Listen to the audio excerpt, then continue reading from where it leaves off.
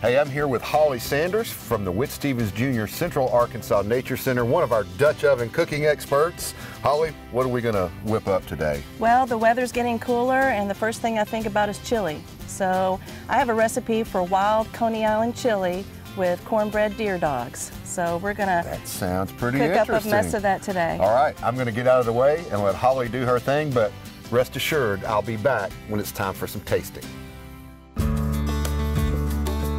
When the air starts get, to get a little crisp outside, folks want to spend more time in the outdoors, hunting and fishing, camping and hiking.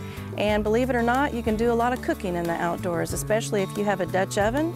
Uh, in a Dutch oven, you can cook any recipe that you can cook uh, in the house. And today, I'm going to make a wild Coney Island chili with cornbread deer dogs. It's a savory and sweet uh, comfort dish, all in one Dutch oven that'll feed a crowd. I've got my charcoals uh, already uh, heated up. I'm gonna put kind of a medium-sized bed of coals here and a smaller bed here. And I'm gonna go ahead and put my Dutch oven on the hot coals and get it to preheat. Just like that. If you turn your Dutch oven lid over, it can become a griddle. Now we're gonna start the chili first. I've got some ground venison. I love to use venison. Not only is it natural and organic, uh, but it doesn't cause a lot of grease to build up. You don't even have to drain it once you're done cooking it up. It's searing really nice. Got a good bed of coals under there. We're gonna let that brown. I also have some nice venison sausages. I really love these. Um, it's not a breakfast sausage, it's more like a brat. Um, if you don't have venison sausages, you can always substitute uh, brats in this recipe. And we're gonna put that on our griddle and get that to kind of searing up a little bit. This recipe calls for three spices. We're gonna use a little bit of chili powder, uh, some cumin, and some celery. Mix that up with your ground venison. It's gonna form kind of a little paste there. It's looking really good. Now we're gonna make the outdoors smell really good by adding a bunch of chopped garlic, about one medium onion, about two teaspoons of garlic. Mix that all up. It's already smelling really good. The onions are looking pretty translucent. Then after that, I'm gonna add uh, some little bit of brown sugar, uh, tomato paste, and some beef broth. And about a tablespoon of yellow mustard. Just give that a good mix. Let all those spices and onion and garlic kind of mix together and that will form our chili. Now we'll let that bubble up and we'll make our cornbread batter. A lot of times when I'm outdoors, I try to do things uh, in an easier way. So I'm gonna, I'm gonna use one box of cornbread mix and just make it to the package directions. I'm gonna add one egg and about two-thirds cup of milk. And we'll give that a good stir here. And then to this batter, we're gonna add uh, one of those uh, small size uh, cream corn, kind of single serving, eight and a half ounce. We'll add that to the corn batter mix. And then we'll add a little bit of cheese, because cheese makes everything better.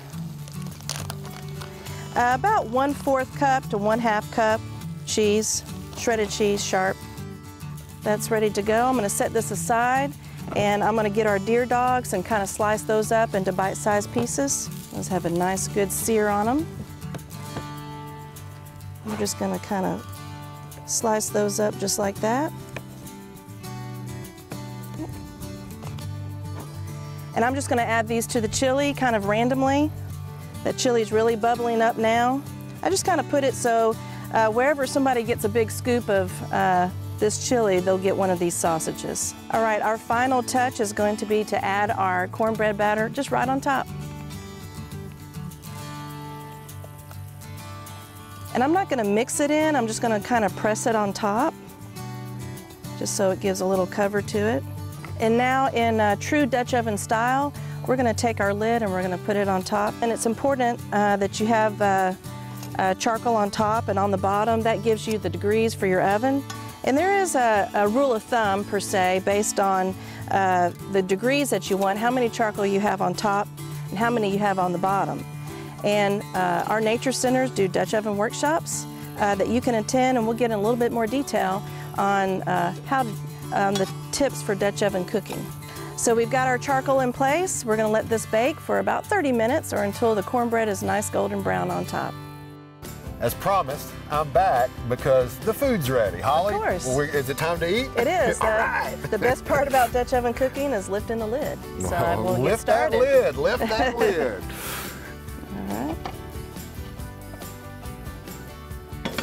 Mm, smells good. Over here. Get one of those sausages, and a little bit of chili, and some of the cornbread. We get a little, get to taste everything there. It's pretty hot, but I'm gonna take one for the team and go ahead and try it. All right, here we go. Mmm. Oh boy, Yeah. good job, Yeah. Hollie.